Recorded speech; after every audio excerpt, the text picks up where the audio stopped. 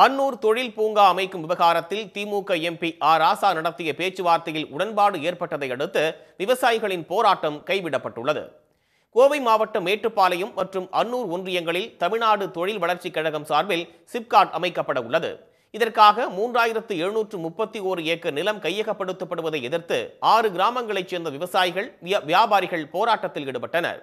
இந்த நிலையில் போராட்டக் குழுவினரோடு நீலகிரி எம்பி ஆர் ராசா மற்றும் அதிகாரிகள் தமிழக அரசு சார்பில் பேச்சுவார்த்தை நடத்தினர். அதில் விவசாயிகளின் கோரிக்கை ஏற்கப்படும் என்று உறுதியளித்ததுடன் தனியார் நிறுவனங்களுக்கு சொந்தமான நிலங்கள் மட்டும் கையகப்படுத்தப்படும் என்றும் விளக்கம் அளித்ததை அடுத்து போராட்டம் கைவிடப்பட்டுள்ளது. மரியாதைக்குரிய பாராளுமன்ற உறுப்பினர் ஆர் ஆசா அவருடைய பேச்சு எங்களுக்கு நிறைவாகவும் நம்பிக்கை அளிக்கும்படியும் இருந்தது. எங்களுடைய நோக்கமும் நிறைவேறும். இந்த பகுதியிலே தொழிற்பூங்கா வராது என்பதை நாங்கள் இந்த நடவடிக்கையின் மூலமாக மீண்டும் நாங்கள் உறுதியடைந்திருக்கிறோம். அடுத்த வாரம் மாவட்ட ஆட்சியர் அலுவலகத்திலே பேசிய பின்பு இதனுடைய அடுத்த கட்ட நடவடிக்கை செல்லும்.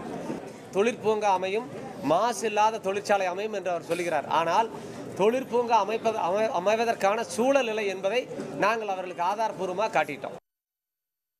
தொழில் பூங்காவில் ராணுவ தளவாடங்களின் உதிரி பாகங்கள் தயாரிக்கும் தொழிற்சாலையே அதிகம் அமையும் என்று திமுக நாடாளுமன்ற உறுப்பினர் ஆர். ராசா தெரிவித்துள்ளார். விவசாயிகளை ஒருங்கிணைத்து எம்பி எம்எல்ஏ ஆட்சியர் உள்ளடக்கிய குழு ஏற்படுத்தப்பட்டு அந்த குழு ஒப்புதல் அளிக்கும் தொழிற்சாலைகள் மட்டுமே அமையும் என்றும் அவர் உறுதியளித்துள்ளார். உடனுக்குடன் செய்திகளை தெரிந்து கொள்ள சன் நியூஸ் பெல் கிளிக் பண்ணுங்க.